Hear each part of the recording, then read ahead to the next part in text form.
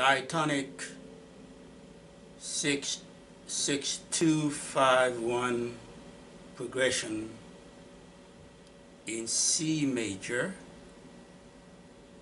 R&B groove.